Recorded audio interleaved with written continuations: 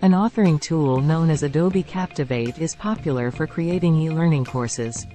Certainly, it can be exciting to start a new project. No matter what you're working on, whether it's a personal project or a business.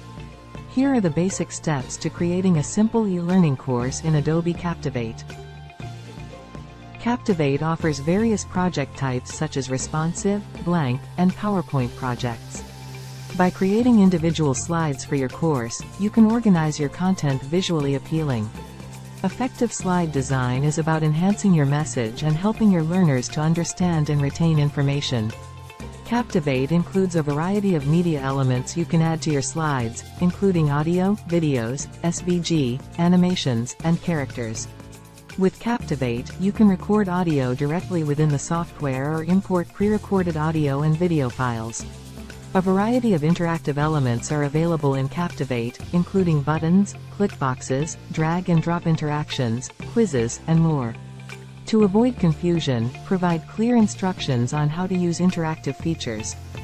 Captivate's quiz features can be used to add assessments and quizzes to your course. Setting up question types, scoring, passing criteria, and providing constructive feedback are all easy to do.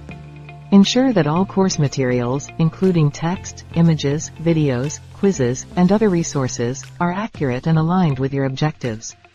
Proofread written content for spelling and grammar errors. Ensure that any links within the course lead to the correct resources.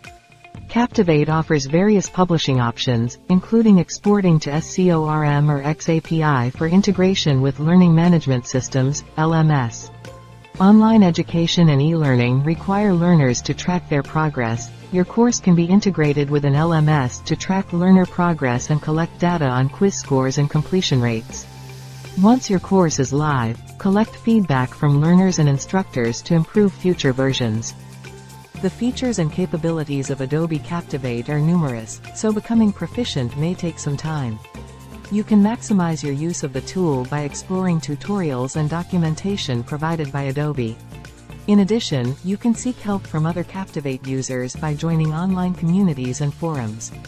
Thank you for watching. Before you go check out the description below. Like share and subscribe to our YouTube channel today.